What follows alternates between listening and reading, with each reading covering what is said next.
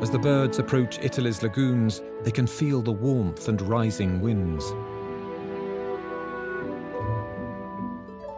Then, for the first time, they see the ocean.